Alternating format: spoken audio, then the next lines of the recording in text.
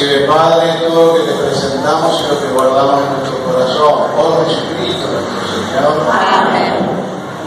Hermanos, presentamos generosamente el pan y el vino y el vino con nuestro propósito de ser justos con todos y no discriminar a nadie por ningún motivo, sino poner en práctica el amor fraternal que nos exige hoy Jesús.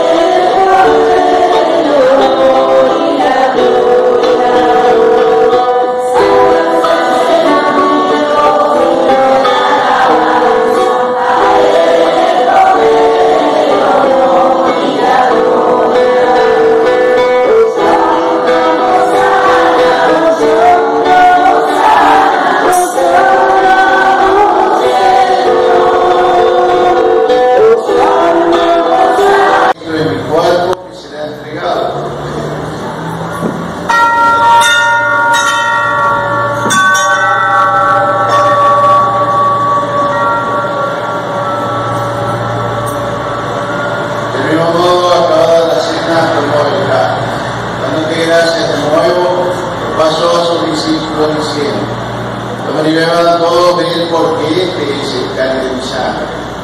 Sangre de la alianza nueva y eterna, sea derramada por ustedes y por muchos para el perdón de los pecados.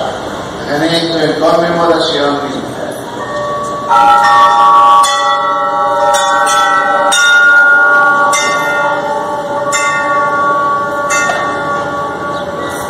Es el misterio de